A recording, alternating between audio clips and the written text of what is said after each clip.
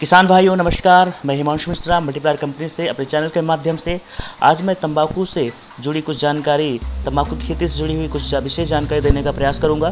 किसान भाइयों, तंबाकू पौधे की पत्तियों से प्राप्त होता है। यह एक मादक और उत्तेजक पदार्थ है, जो नोकिशियाना जात के पौधे की बारीक कटी हुई पत्तियों, जो कि खाने पीने तथा सूंघने के काम आती हैं।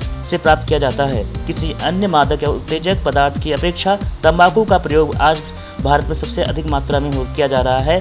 आज के समय में भारत के हर राज्य में लगभग यह इसका इसकी खेती की जाती है। भारत विश्व के उत्पादन का लगभग सात पॉइंट आठ प्रतिशत तम्बाकू उत्पादन करता है। किसान भाइयों तम्बाकू की रोपाई का आदर्श समय 20 सितंबर से 10 अक्टूबर माना गया है। 6 से 8 सप्ताह के स्वस्थ बीजड़े की रोपाई करनी चाहिए।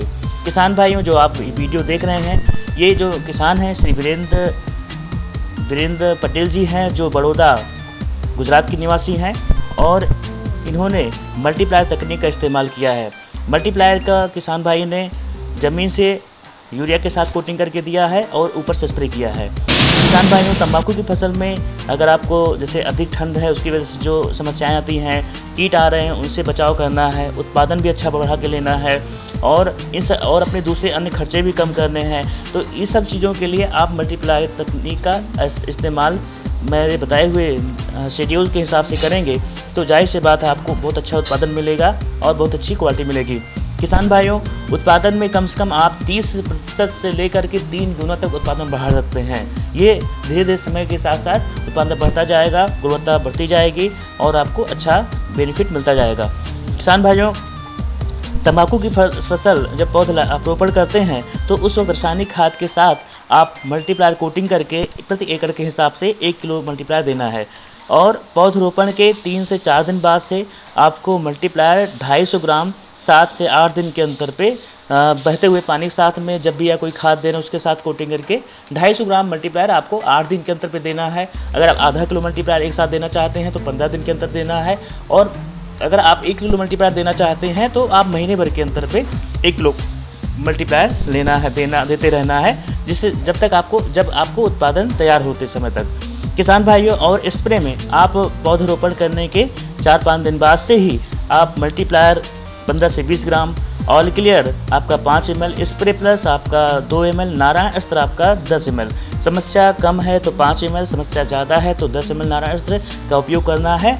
इसको इन चारों दवाइयों को एक साथ घोल करके 15 लीटर पानी के साथ में आपको सात से आठ दिन के अंतर पे या दस दिन के अंतर पे कम से कम सात दिन और ज़्यादा से ज़्यादा दस दिन के अंतर पे आपको पौधों में जो है लगातार जो है स्प्रे करना है, जब तक आपको उत्पादन लेना है। तो अगर आप ये प्रक्रिया अपनाते हैं तो किसान भाई आप जो फ़सल देख रहे हैं, फ़सल की क्वालिटी फ़सल पत्तों का रंग जो है पौधों की हाइट ये सब सारी चीज़ें आप मल्टीप्लायर तकनीक से जो है प्राप्त कर सकते हैं।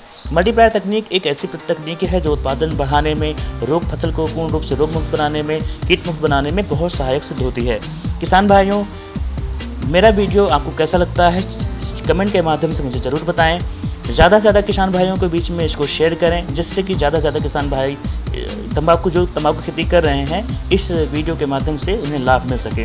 किसान भाइयों, जो नए किसान भाई हैं, जो पहली बार हमारे चैनल को देख रहे हैं, कृपया करके जो है इस चैनल को, हमारे चैनल को सब्सक्राइब करें, बेल आइकन को टच कर दें, जिससे कि उन्हें नए नए वीडियो लगातार देखने को मिलते रहें। और आपको कोई नई जानकारी चाहिए तो मुझे कमेंट के माध्यम से कृषि विभाग से सम, कृषि संबंधित, फ़सलों से संबंधित कोई नई जानकारी चाहिए तो कमेंट के माध्यम से मुझे ज़रूर बताएँ, जिससे कि मैं आपको नई नई जानकारियाँ अपने चैनल के माध्यम से, वीडियो के माध्यम से लगातार देता रहूँ और आपको ज़्यादा से ज़्यादा लाभ मिल सके। इसी आशा के साथ मैं हमेशा नए वीडियो लाता रहूँ। किसान भाइयों, इसी के साथ मैं फिर से नए वीडियो के साथ आऊँगा। जय हिंद, जय भारत।